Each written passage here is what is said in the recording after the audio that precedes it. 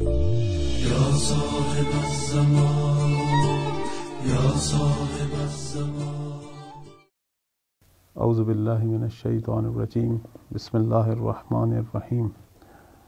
الحمد للہ رب العالمین، والصلاة والسلام علی محمد و آلہ طیبین الطاہرین۔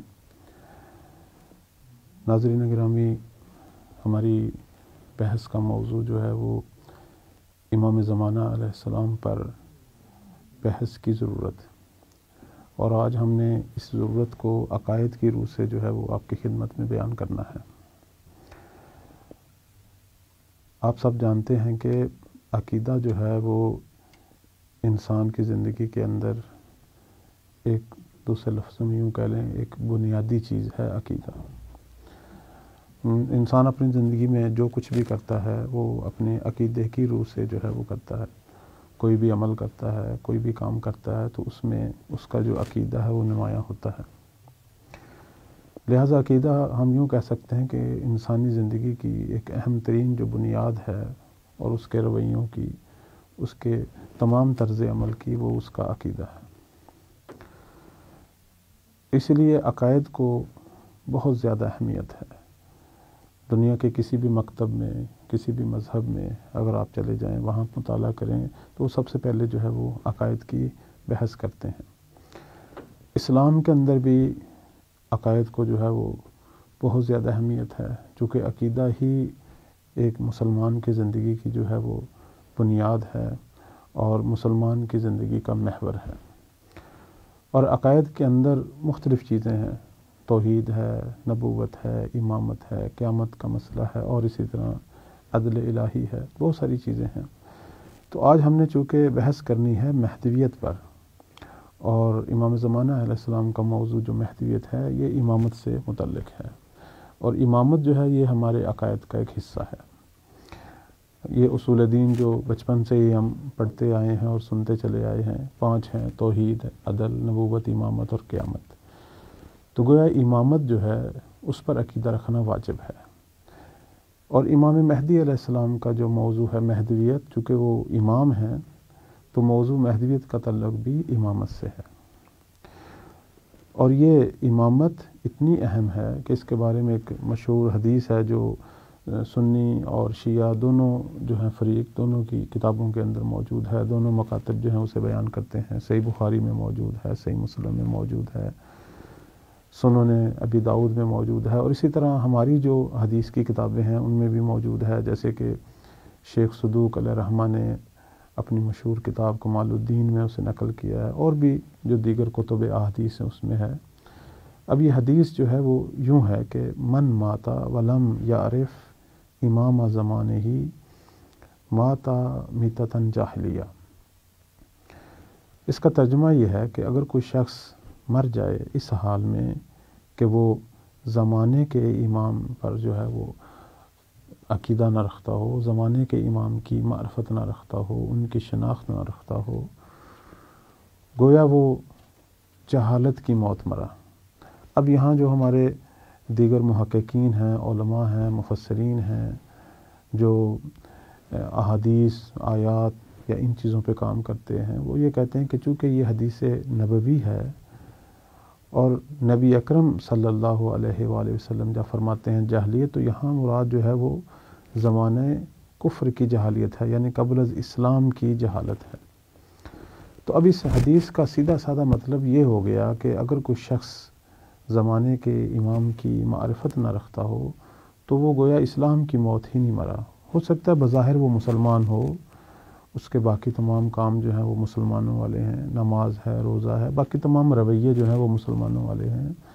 لیکن امامت پر عقیدہ نہ رکھنے کی وجہ سے آپ یہ فرماتے ہیں کہ گویا وہ مسلمان ہی نہیں مرا۔ تو بس یہاں جو ہے وہ واضح ہوا کہ امامت کا جو موضوع ہے وہ عقائد اسلامی کے اندر ایک بنیادی موضوع ہے۔ اگر ہم امامت کے موضوع پر عقیدہ نہ رکھیں اور امامت کی جو دوسرے لفظوں میں ہر زمانے میں جو اس کی ایک تصویر ہے، ایک فرد ہے، امامت کا جو ایک مستاق ہے، ہر دور میں جو ایک امام ہے، اس کو نہ پہچانیں، اس کی معرفت نہ رکھیں۔ تو یہ ایسے ہی ہے جیسے ہم زمانہ کفر میں ہیں، گویا ہمارا اسلام، ایمان سے کوئی تعلق نہیں۔ تو اس لیے ایک بنیادی چیز جو ہے ہمارے عقائد میں، اصول دین میں امامت کا موضوع ہے۔ اور امامت کا موضوع یہ بتاتا ہے کہ ہر زمانے کے امام کی جو ہے وہ معرفت ہم پر واجب ہے۔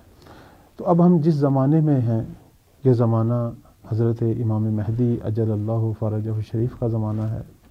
یہ ان کی امامت کا زمانہ ہے۔ ہم گویا ان کی امت ہیں، ان کی امت کا ایک حصہ ہیں۔ تو ہم پر بھی واجب ہے اس حدیث کی روح سے کہ ہم اپنے زمانے کے امام کی معرفت پیدا کریں، ان کی شناخت پیدا کریں۔ ان اب یہ شناخت اور معرفت کیسے پیدا ہوگی؟ اس کے لیے ایک علیحدہ موضوع ہے۔ مثلا اس ان کے بارے میں کتابیں پڑھیں، ان کے بارے میں مختلف شخصیات، مختلف جو اسکالر ہیں، مختلف جو محققین ہیں اس موضوع میں ان سے سنیں، ان کے بارے میں غور و فکر کریں۔ اور اپنے اور امام کے درمیان جو ہے وہ ذہنی، فکری ہر اعتبار سے جو ہے وہ ایک قرب پیدا کریں کہ ان کا موضوع ہمارے ذہن میں جو ہے وہ ایک پختہ ہو جائے۔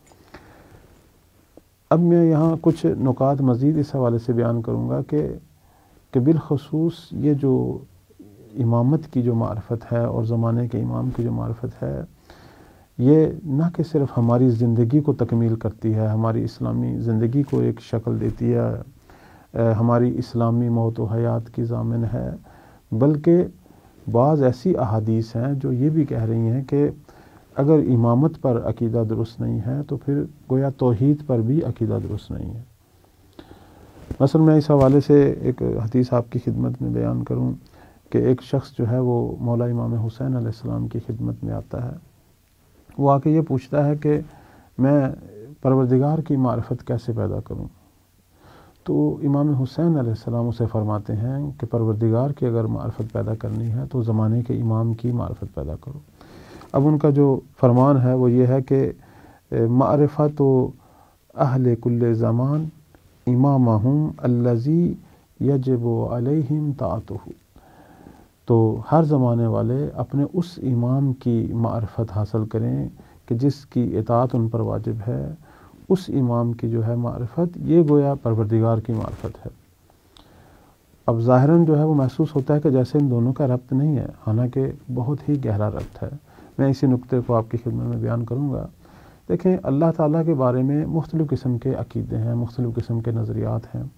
دنیا میں ہر مذہب جو ہے، وہ اللہ کے بارے میں ایک نئی چیز، ایک مختلف اور منفرد سی چیز جو ہے وہ بیان کرتا ہے۔ یہود کا اللہ کے بارے میں جو عقیدہ ہے، وہ دیگر مذاہب کا نہیں ہے۔ نصارہ یعنی مسیحوں کا جو اللہ کے بارے میں عقیدہ ہے، وہ یہود یا عالم اسلام کا نہیں ہے۔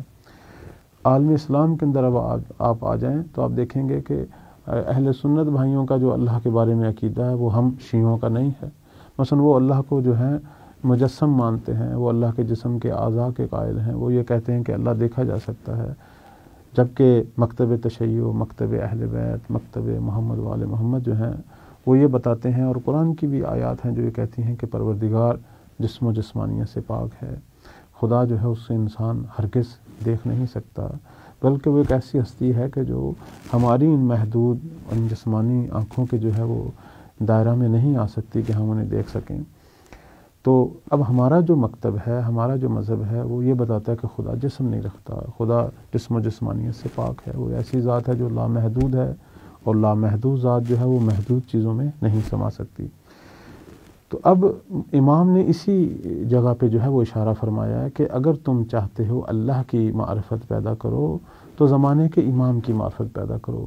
چونکہ زمانے کا جو امام ہے وہ اللہ کی طرف سے منسوب کردہ، پروردگار کی طرف سے بھیجا ہوا ایک نمائندہ ہے اور وہ صحیح دین بیان کرنے والا ہے اور حقیقی دین ہی اس کے پاس ہے۔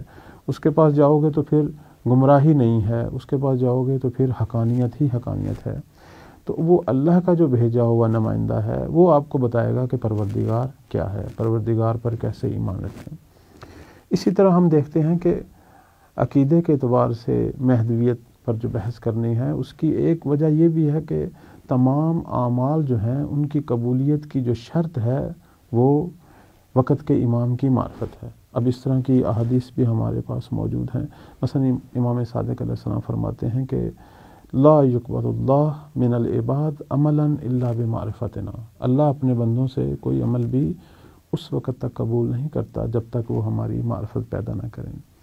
تو میں اپنی بحث کو یہاں سمیٹتا ہوں۔ اس طرح اور بھی بہت سارے نکات ہیں کہ اب عمل کی قبولیت کی بات ہوگی یا توحید تک پہنچنا ہوگا یا حقیقی اسلام۔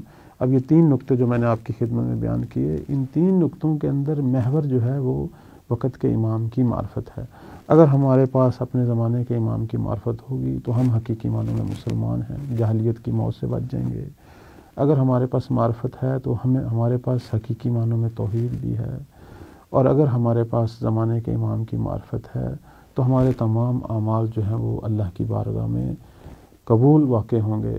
اور پروردگار ہم سب کو توفیق دے کہ ہم اس اہم موضوع کی طرف توجہ پیدا کریں۔